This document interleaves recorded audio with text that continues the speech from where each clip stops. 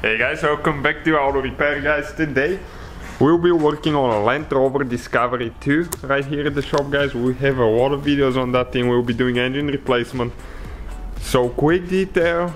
Now we're going to make a video how to how to remove and replace the mass airflow sensor which is this one right here. If you have a code that relates to mass airflow sensor we're talking about this thing right here always guys replace them with original. Okay Bosch sensor. We uh, in the past we've tried those Chinese versions sometimes.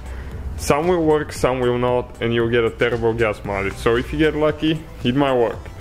But three out of five didn't work for us so we just stick with the original now now we're going to use a flathead screwdriver. We're going to remove that clamp right here okay you can see. Then we have two clips but you have to be super careful about this one here.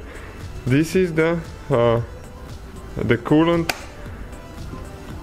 tube that goes to the radiator and this is breakable. So you have to be you have to be careful there. Okay now we are going to open the okay the air filter box. I think there is only a couple taps Okay, next we're going to remove that hose that we just took off. So we can open the air filter box, we'll show you why.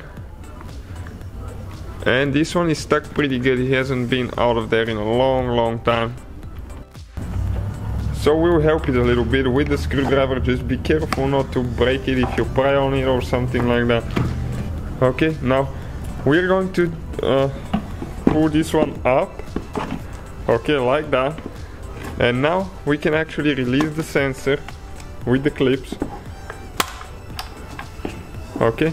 And there is a rubber seal so it gets stuck pretty pretty good. So we need to do just wiggle it and it will come out.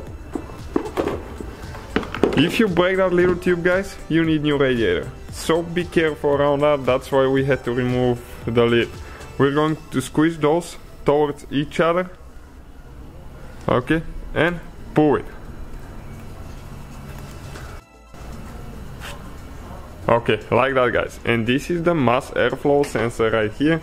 Uh, this is a 99 model, specific model, okay, and this is the part number for that vehicle. Yours might differ, so always check it before you order one.